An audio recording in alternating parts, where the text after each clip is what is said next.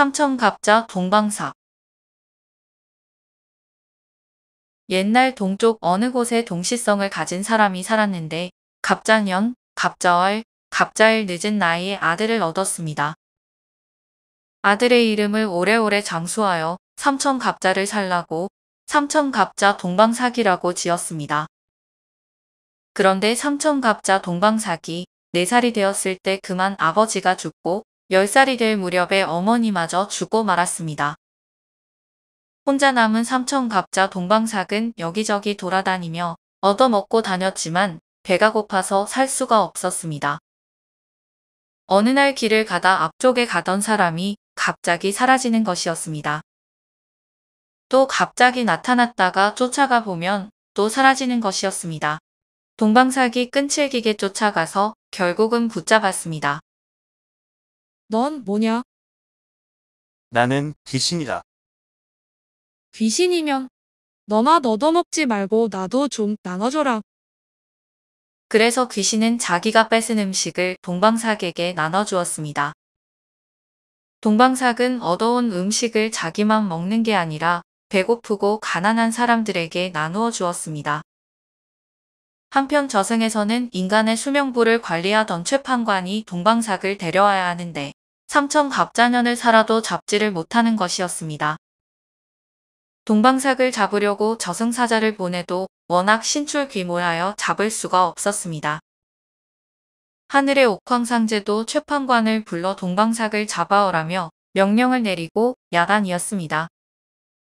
저승사자들이 매번 딴 놈을 데려오자 한 번은 최판관이 꾀를 내었습니다. 수출 게울로 가져가서 닦도록 해라. 어느 날 동방삭이 우연히 개울에 왔다가 숯을 닦는 사람들을 보게 되었습니다. 여보시오. 거 뭐요? 검은 수치오. 그걸 뭘 하려고 그렇게 닦고 있어? 이 수치 희도록 갖고 있어. 이런 실없는 사람들이 다 있나? 내가 삼천 갑자를 살아도 검은 수치에 희게 닦는다는 사람은 못 봤네. 그러자 숯을 닦던 저승사자들이 내 놈이 삼천갑자 동방사기였다. 결국 동방사기는 삼천갑자인 18만 년을 살고 붙잡혔습니다. 그 이후로는 사람이 오래 살지 못했다고 합니다. 저승사자들이 동방삭을 잡으려고 이곳에서 숯을 씻었다고 하여 한자로 숯 한자를 써서 탄천이라고 부르게 되었다고 합니다. 가짜 명의. 옛날 함경도에 의원 행세를 하며 팔도를 떠돌아다니는 엉터리 의원이 있었습니다. 이 사람은 의술이 뛰어난 척하며 한양에 있는 주막집에서 밥을 얻어먹고 있었습니다. 하루는 엉터리 의원이 술을 먹고 낮잠을 자고 있는데 주모가 달려와 말했습니다. 요 이웃의 대감집 따님이 갑자기 죽었대요. 함경도 양반 의술이 용하다고 찾던데 가설랑은 좀 들여다봐요. 엉터리 의원은 주모에게 등을 떠밀려 대감집으로 갔습니다. 가서 보니 관연한 딸이 죽어 있는데 엉터리 의원이니 진맥도 할 줄 몰라 난처할 따름이었습니다. 엉터리 의원이 방안을 쭉 둘러보니 죽은 딸 옆에 곰방대가 놓여 있었는데 순간 떠오르는 게 있었습니다. 아하, 이 딸이 죽은 게 아니라 기절한 개로구나. 이 딸이 담배를 몰래 훔쳐 피우다 기절한 거였습니다. 보통 처음 담배를 피울 때 기절하는 사람들이 종종 있었습니다. 엉터리 의원은 진맥하는 척하면서 하인을 불러 말했습니다. 가서 사양 청심환을 하나 사오너라. 사양 청심환을 곱게 갈아 물을 부어 딸에게 먹였습니다. 물만 먹여도 될 것을 의원이냥 약을 섰던 것이었습니다. 그랬더니 딸이 부스스 일어났습니다. 이렇게 해서 엉터리 의원은 죽었던 사람도 살리는 명을 하고 소문이 났습니다. 그러던 어느 날 임금님이 엉터리 의원을 궁궐로 불렀습니다. 소문을 듣고 병에 걸린 왕비를 고치기 위해서였습니다. 왕비는 머리가 파인 천문창이라는 병을 앓고 있었습니다. 임금님은 팔도 명의들을 모두 불러 약을 써보았지만 어떤 약도 효과가 없었습니다. 지금까지는 운 좋게 의원 노릇을 하며 살았는데 왕비의 병을 고쳐야 하다니 이제는 죽었구나. 엉터리 의원은 이런저런 생각에 주는 밥도 못 먹고 걱정만 했습니다. 그러다 무심코 밥풀 하나를 떼어 벽에 문질렀습니다. 흙과 먼지와 밥풀이 한데 섞여 아주 작은 환약처럼 되었습니다. 그걸 대접에 수북이 쌓아 놓았습니다. 며칠 후 임금님이 엉터리 의원을 불렀습니다.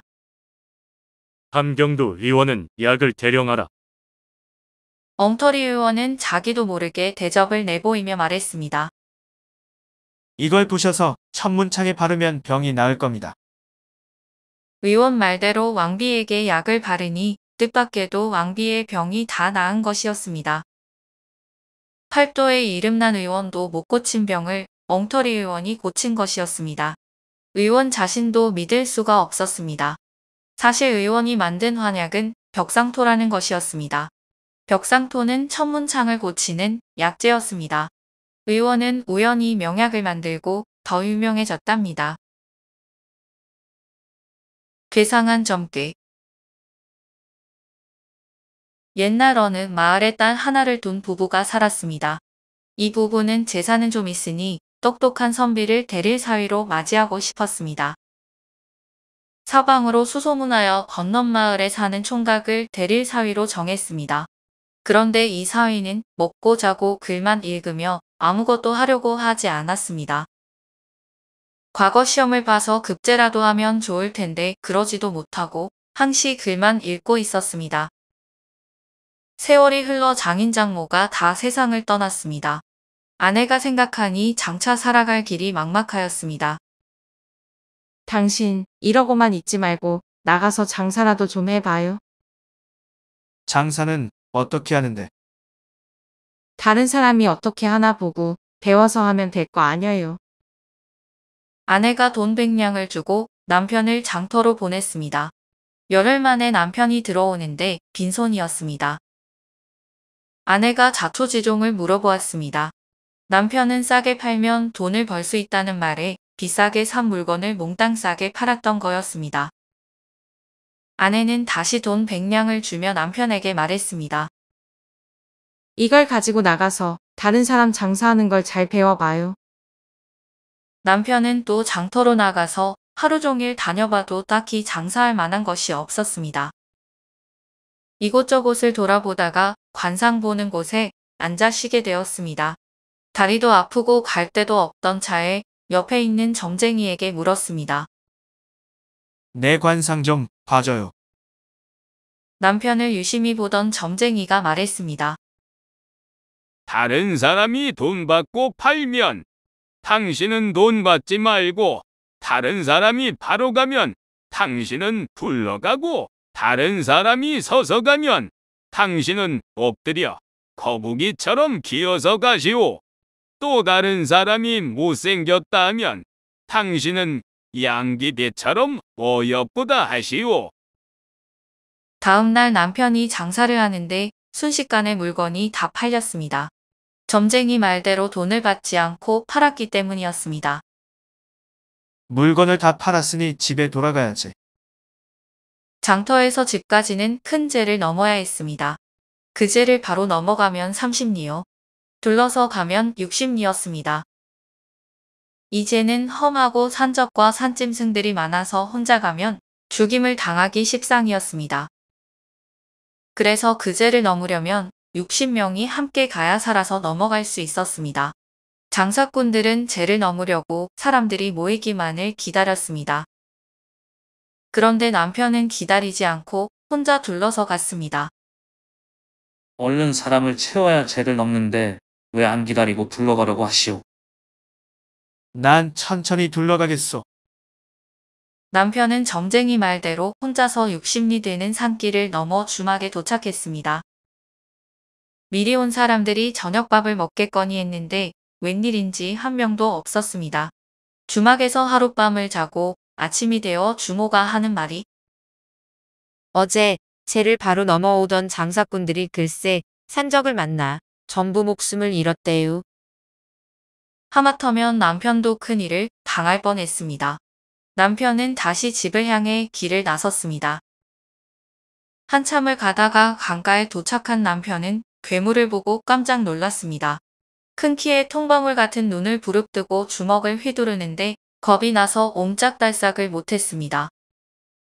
그때 거북이처럼 기어가라고 했던 점쟁이 말이 생각나서 기어갔습니다. 이런 남편을 보고 괴물이 말했습니다.